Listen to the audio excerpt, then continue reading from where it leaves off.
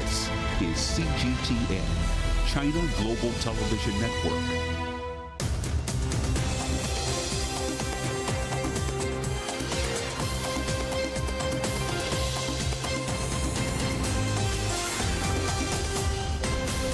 Live from London, this is The World Today. Hello, I'm Jamie Owen. Welcome to the program. Our top stories China's President Xi Jinping greets former top United States diplomat Henry Kissinger, the man credited with bringing the two countries together in the 1970s. Our other headlines Ukraine's port cities under attack for a third night as EU ministers warn of a global food crisis. Wildfires across Greece are largely contained after burning huge areas of forests, but there are now warnings of a new heatwave to come. And join me for some swanning about on the river as the annual and very traditional swan count takes place on the River Thames. China's President Xi Jinping has told Henry Kissinger that old friends like him will not be forgotten as he met the 100 year old former US Secretary of State in Beijing. President Xi greeted Kissinger at the guest house where he was received during his first visit to the country in 1971. Since then, the veteran diplomat has visited China more than a hundred times. Kissinger played a key role in normalizing diplomatic ties between Washington and Beijing and President Xi has praised his contribution. The Chinese people never forget old friends, and the name Kissinger will always be associated with China US relations. The Chinese people will always remember. I hold you in high regard. Well, Dr. Wang Huiyao is founder and president of the Center for China and Globalization. Welcome to the program. Just how symbolic is this meeting? Well, I think this meeting is very uh, significant and it's very timely and it's very crucial, actually. You know, first of all, I think Dr. Kissinger has, uh, uh, you know, witnessed the uh, establishment of diplomatic ties, and actually he was the uh, one of the founder of uh, China-U.S. Uh, modern relations, and so he personally come again and shows that even at 100 years old, with China 100 years time, still attach such a great importance to the China-U.S. relations. So that's really very significant. that's number one. Number two, I think also we're seeing some uh, new movement now. And we after Blinken's visit, after Yellen's visit, after uh, John Kerry visit, now we have a Kissinger come. So that shows that uh, there's uh, there's momentum that's uh, gradually building up uh, to better you know understanding each other and also better promoting the relation. So we hope to stabilize and uh, and looking forward probably lift up somewhat relations. So that just inject a big confidence in some people-to-people exchanges. So I think uh, President Xi also mentioned that China will not forget old friends, and, and we have many old friends, and I think that. so this is great encouragement for people who are promoting the China-U.S. relation uh, that is really important that we many people like Dr. Kissinger and really care about China-U.S. relation, and that is very important. He's also had uh, other meetings, including uh, a meeting with uh, China's senior diplomat Wang Yi. What do you think Kissinger intends, if anything, to achieve during this trip, or is it just about pictures and warm words? Well, I think that there's probably both. Uh, uh, we all need them first of all, I think he come to uh, come uh, with some substantial dialogue with the senior diplomats, senior defense officials, uh, including President Xi, and uh, because Kissinger is is really a, a, a focal point and that actually. Uh, uh, information center for China-U.S. relations. He has all the latest information, and he has the reflection on both sides. So, to hear his view, it will help better understanding the bilateral relation and actually also, you can pass the words back to the uh, U.S. administration to really uh, have a better understanding on, on, the other side as well. So I think this kind of a messenger uh, uh dialogue uh, uh, promoter is, is very important. Second, I think also the, the pictures and photo ops and occasions to the, you know, one picture was a thousand words. I mean, he came to China personally even at 100 years old, after 100 years birthday. That's such a touching, moving gesture and, uh, and such an encouraging gesture for uh, a century-old uh, gentleman like him. He's overcome so much difficult, come to China, attaches great importance of China-U.S. relations. That is itself, it's it's sending a, you know a, a million words to the people around the world that China-U.S. relations is still the most important bilateral relation. We have to, you know, uh, stick to that, and we have to really uh, uphold and uh, hold dear to. So, so it's very important. The United States has stressed that Kissinger is visiting in his capacity as a private citizen. Um, do you think his visit has um, traction with the administration in the U.S.? Well, I think he has uh, many, uh, you know, colleagues, many students, many, a lot of people in the administration was, uh, of course, influenced or impacted by him.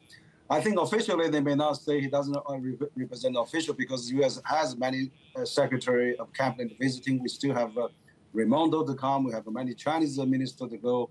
also, President Xi and President Biden probably going to meet at the G20 in September and possibly November at APEC summit. Uh, so I think, you know, Dr. Kissinger is representing the people-to-people exchange, but at high level. He really knows the history, background, uh, the, the, the, and then the advice he gave, you know, we, we cannot afford uh, to have a conflict, and we really have to maximize uh, our, our benefit, in, interest of both sides. And actually, we have to coexist uh, peacefully. And that's the message he's giving is, is really very important and very uh, timely uh, as China-U.S. relations is going downstream. And so, so I think that even though the administration openly said, okay, he doesn't represent the official views, but but I think you know that that I'm sure his exchanges, his his uh, advices, his uh, findings will influence uh, both both sides for sure. That, that's very useful as well. Dr. Wang Huiyao, founder and president of the Center for China and Globalization, thank you very much. Thank you, Jim.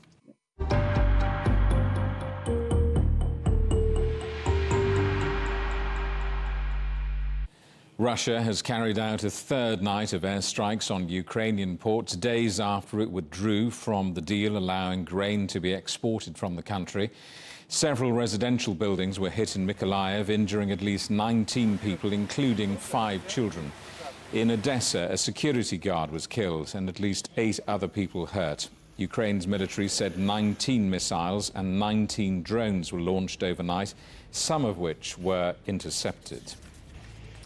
Well, EU foreign ministers are meeting in Brussels to discuss military support for Ukraine, including a proposal to supply $22 billion in aid over the next four years. Our correspondent Alex Cadier is watching events for us in Brussels. Alex, uh, firstly, what's the uh, EU's reaction to those uh, continuing attacks on uh, Ukraine's ports?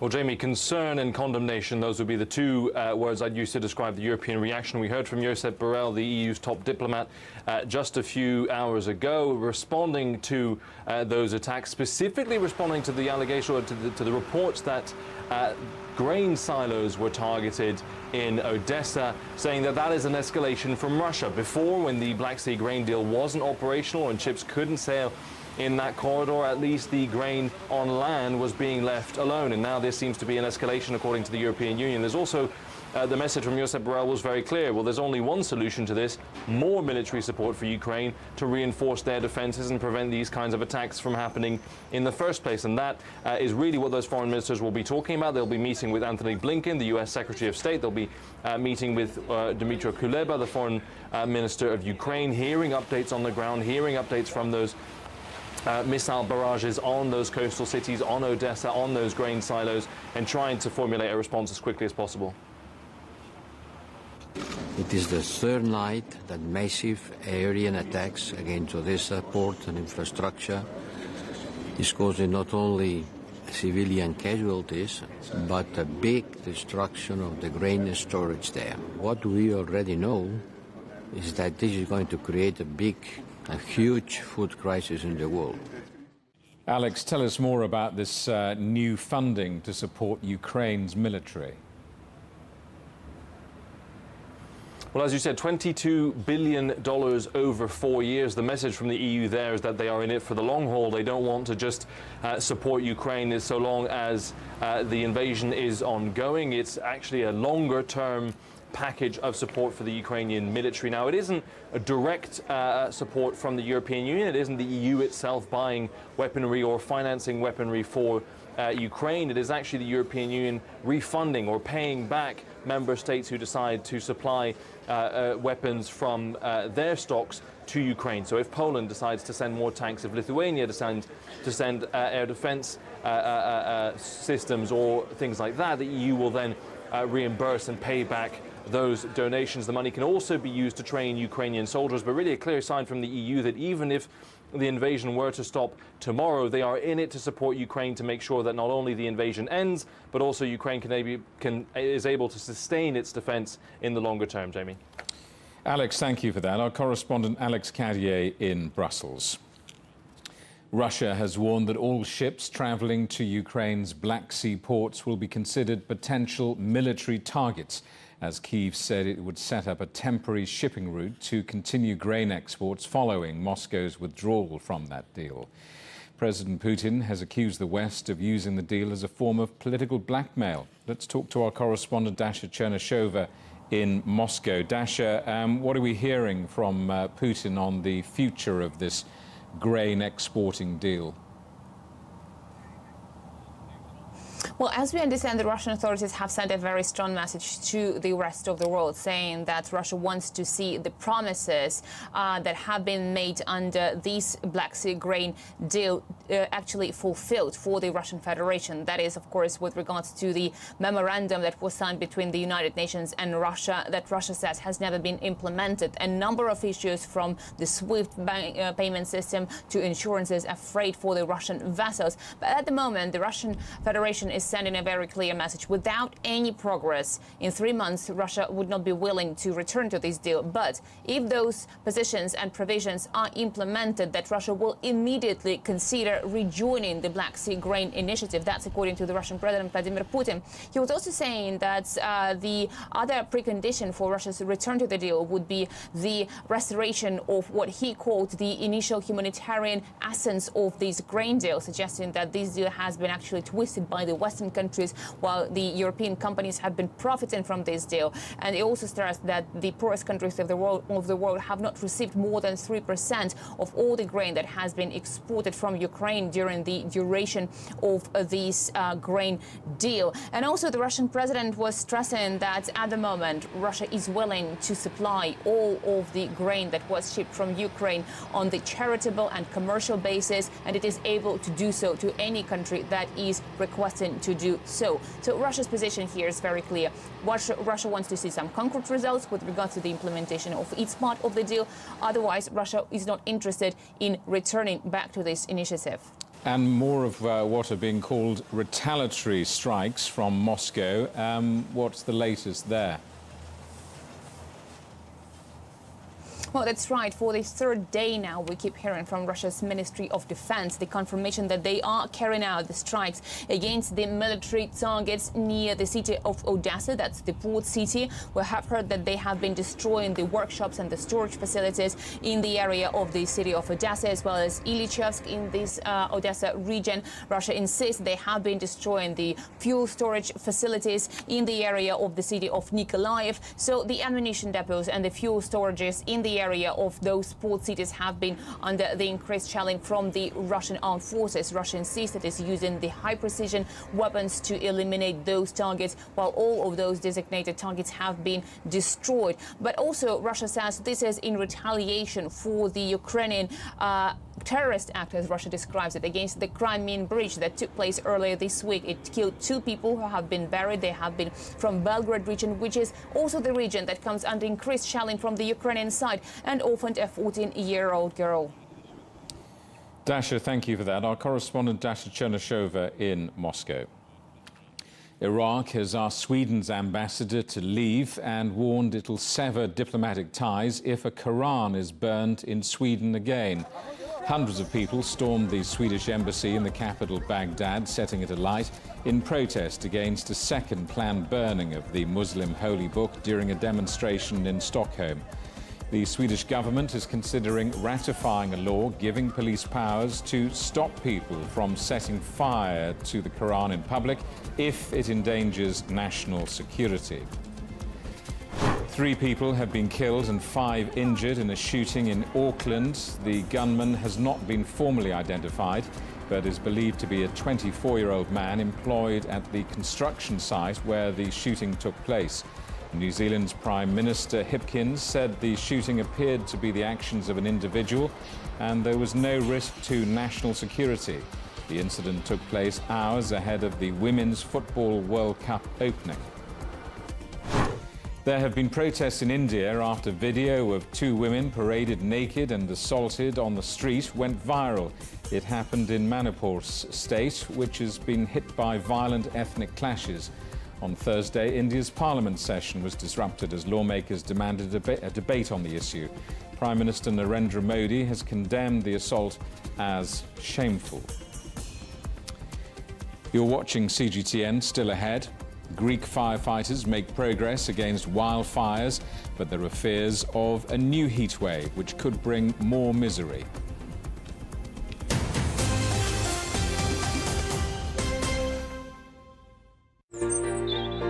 Ever wondered what's the difference between a bear and a bull market? Where are the cash cows? And who are the lame ducks? And what exactly are black swans? grey rhinos and unicorn companies. Make sense of it all with global business, only on CGTN. There's a new agenda for a new world, accelerating change in almost every part of our lives. It's shifting the norms of how we work, travel, and connect. How we think, interact, and develop. It's a new reality, a new agenda with me, Juliet Mann. Events have consequences. Words create impact. One more offensive in a long line of battles that's been ongoing for more. Just got to be careful here with some gunshots. Excuse us, excuse us. The world today matters for your world tomorrow. The number of casualties is growing quickly. Why, this is one of the hardest hit towns in the region. The world today, every day on CGTN.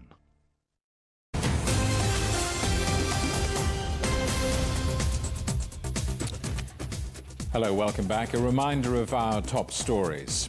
China's President Xi Jinping greets former top United States diplomat Henry Kissinger, the man credited with bringing the two countries together in the 1970s.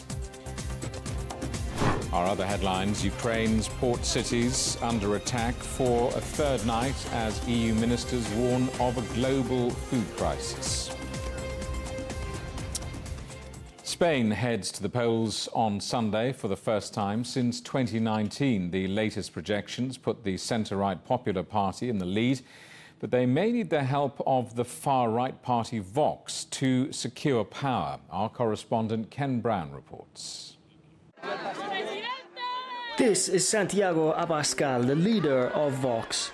His party are in the ascendancy and could be just days away from being in power as a junior coalition partner. That would put the far right back in government for the first time since General Francisco Franco in the 1970s.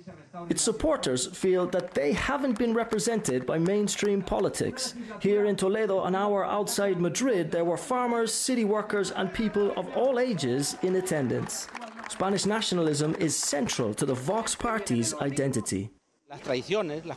For Vox, values and traditions are important our way of living here, the love for your country, for the people, family, and for a better future. That's fundamental. Vox defends the same values I care about. Above all, family, economy, life, and our country, Spain. They really care about this, way more than any other party. The Vox Party will have seen just how successful like-minded political parties have been in Hungary and more recently in Italy. Vox is now the third largest political force by electoral seats in the country and has its sights set on becoming part of the next government. Seven years ago, the party didn't have a single seat in Congress, but it surged in popularity following its tough stance against the Catalan independence movement, often criticizing Pedro Sanchez for being too soft in negotiations. This week, Abascal warned of a more confrontational approach to Catalan separatism if elected. The current socialist coalition say any involvement of the far right at the highest level could be disastrous. Ultra-right parties that they don't believe in climate change, they don't believe in gender violence. They think that they are very much against migration policies. Migration uh, itself, you know, they are very, very aggressive. They want to, to fight the consensus in our country. God knows what is going to happen if these people get into government and the tension with Catalonia and other, and other uh, regions. An Ipsos poll showed that over 60% of Spaniards are worried about Vox getting into power. But recent regional election results seem to point to a Partido Popular Vox coalition in power by next week, as the rise of the right continues across Europe. Ken Brown, CGTN, Toledo.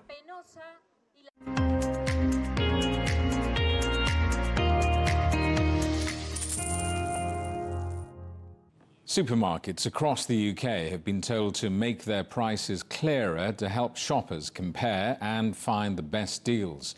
The Competition and Markets Authority says imprecise labelling is confusing to consumers and it called on the government to tighten the law. Under the current rules, products should be priced per unit, but the CMA discovered a lack of transparency with missing or incorrectly calculated unit pricing information both in stores and online. Well, in our new series, Paying the Price, we look at the impact the cost of living crisis is having on people in Europe. In Hungary, food insecurity is growing over the last year. The country's largest food bank association says more families have relied on food donations to make ends meet. Our correspondent Pablo Gutierrez reports.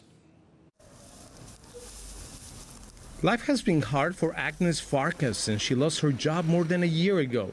The mother of four worked for years at a small shop that was forced to close down when Hungary's rising inflation and the energy crisis squeezed all its profits. Since then, Farkas has relied on food donations to feed her family. We get here all the food we need for the week. They also give us diapers and even school supplies. It's a big help for me. Farkas' family is one of more than 200 that rely on weekly donations from a community food bank in one of Budapest's poorest districts. For families struggling to put food on their table, grocery stores are no longer an option, so they have to rely on food banks like this one, which are now in turn struggling to meet the growing demand.